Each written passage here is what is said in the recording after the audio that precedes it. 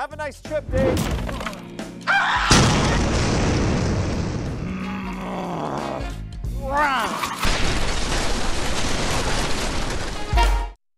Uh, yeah. The, the, the Skeeter meter, one of the greatest things ever come out of local television, I'd say. and it is Mike Drop Friday. Mike Prangley dropping by for a special reason today.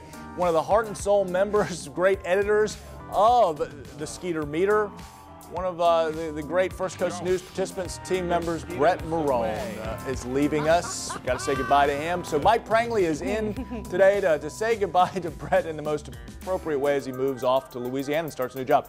Mike, what was your nickname uh, for uh, the chinchilla? What did you call him? Because he had a, his hair. There, yes. He had this beautiful, he still has this beautiful chinchilla-like hair. So yeah. before there were genetically modified mosquitoes, we had Brett Marone and he brings it every day. He's part of the GMJ family. And Brett, you may be going to Louisiana, but we love you. You're always going to be part of us right here.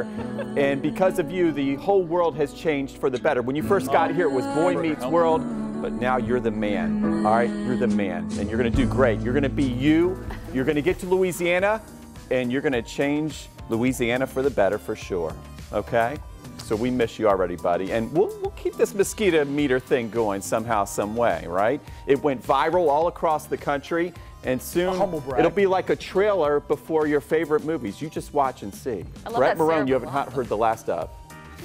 well, Mike, you said it all. Mouthful yeah. there for Brett Marone, who, well, I mean, no one really knows out there, but God bless him as he leaves us. Brett.